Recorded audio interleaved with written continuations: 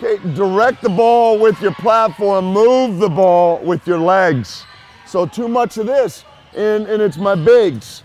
So don't be in the habit of moving the ball with your arms. You move the ball with your legs.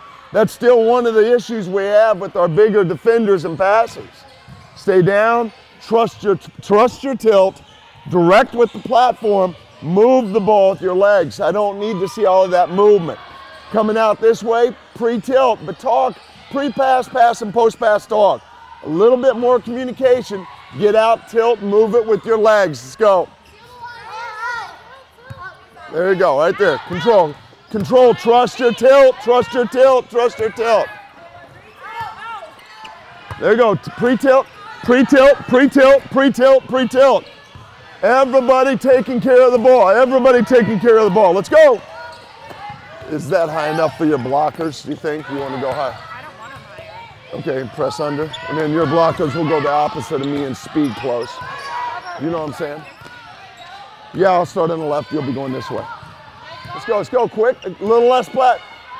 Bailey, great Bailey. Great feet, a little less movement. I don't want that platform swinging. Quiet platform.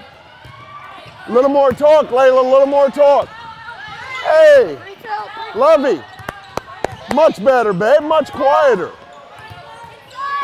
Now feel comfortable enough to talk for me. Yeah? That was good. Let's go. Quiet, better, better, better. Nice talk. Ella, better talk. There you go, Carly. Move. Beat the ball, don't meet the ball. There you go. Better. More tilt. More tilt, Jay. Better with the legs. Now tilt.